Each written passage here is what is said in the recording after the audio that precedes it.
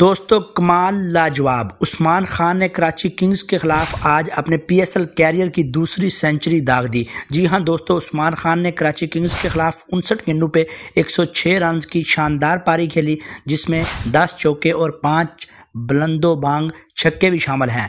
دوستو، کراچی کنگز کے خلاف ملتان سلطان نے تین وکٹوں کے نقصان پر ایک سو ننانوے رن بنائے ہیں۔ یوں انہوں نے کراچی کنگز کو ایک سو نوے رنز کا ہدف دیا ہے۔ تو کراچی کنگز کو یہ ہدف چیز کرنے کے لیے بہت مشکلات کا سامنا کرنا پڑے گا، کیونکہ ملتان سلطان نے ایک پہاڑ جیسا لکش کھڑا کر دیا ہے۔ ملتان سلطان کے کیپٹن محمد رضوان نے بھی شاندار بلے بازی کی ہے۔ انہوں نے چوالیس گیندوں پہ اٹھاون رنز بنائے ہیں، جس میں پانچ چوکے شامل ہیں، جبکہ ریزا ہینڈرکس آٹھ گیندوں پہ صرف تیرہ رن بنا سکے ہیں۔ اور عثمان خان کی تو کیا ہی کہنے، انہوں نے انسٹھ گیندوں پہ ایک سو چھ رن کی شاندار پاری کھیل دیا ہے اور اپنی ٹیم کے لیے بہت زیادہ سکور کھڑا کیا ہے۔ افتخار احمد چار گیندوں پہ چار اور خوش دل شاہ نے پانچ بالوں پہ چھ رنز بنائے ہیں۔ یوں تین وکٹوں کے نقصان پر ایک سو ننانوے رنز بنائے ہیں۔ بیس اوور میں ملتان سلطان نے اور کراچی کنگز کو جیت کے لیے ایک سو نوے رن کا پہاڑ جیسا لکش دیا ہے۔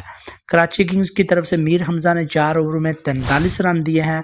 مظہر بانی نے اچھی بولنگ کی چار اوور میں بتیس رن دے کے دو وکٹیں لی جبکہ حسن علی نے چار اووروں میں چونتیس رن دے کر ایک وکٹ جبکہ محمد نواز، زاہد محمود اور شعیب ملک کو کوئی وکٹ نہیں ملی۔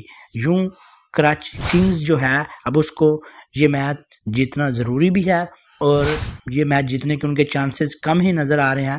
کیونکہ محمد عثمان نے آلموسٹ ان کی امیدوں پر پانی پھیر دیا ہے۔ اس طرح کے دوستوں بلے باز ہوتے ہیں جو آج کل کی جو ایڈوانس کرکٹ ہے، اس میں ان جیسے بلے باز، عثمان خان جیسے بلے بازوں کی ضرورت ہے۔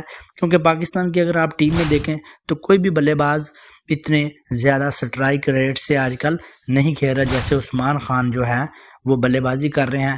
تو اور یہ وکٹ کیپر بلے باز ہیں۔ تو اب ان کو ورلڈ کپ کے لیے ٹیم میں جو ہے وہ چانس مل سکتا ہے۔